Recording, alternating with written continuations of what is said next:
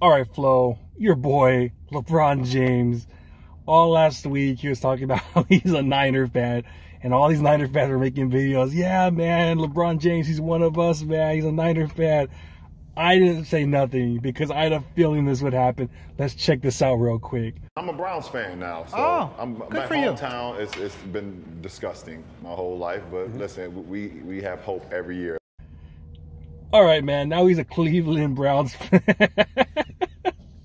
but man, what do you think about this, man? It seems like he changes teams more than he changes underwear. It's crazy, man. What do you think? Well, it was good while it lasted. but to be fair with Bron, he did say he still does have the Niners as his favorite to win it, though. Even though he says He does say that, yeah. he says he's repping uh, the Browns. That makes sense. He's from what Cleveland, Cleveland, Akron, Akron, Ohio, which isn't too far from Cleveland. So obviously, you're always gonna have a little love for your local team.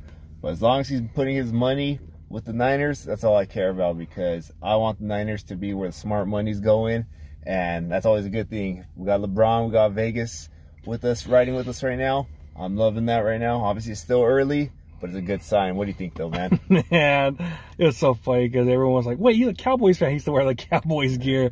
And then all last week he was like, no, I roll with the Niners. I wouldn't wearing red and gold the whole time. I'm rolling with the Niners. And then hearing this, man, I'm sorry. I just, anything he says off the court, he's a, he's a genius on the court. I say he's one of the best players of all time. Me and you are Lakers guys. when it comes to off the court stuff, man. Now there's a reason why you see him read, when he reads those books, he's on like page three, all those books he reads, man. But it is what it is. He said he's gonna go. Uh, the Niners are gonna win it all, but I guess this week he changed to Cleveland. So, hey man, if you want to be the Cleveland fan, that's fine. There's still room on that bandwagon though. If you're out there, you want to be a Niner fan. We're accepting all applications out there. Come on down, man, because I think this might be the year that we finally break that 28 year curse. So, I mean, it's time to come on. Everyone's doing videos. It's hot right now. You got the OG Garnal doing YouTube videos right now. Orale. So, I mean, it's a great time right now if you're a Niner fan. Yes, sir.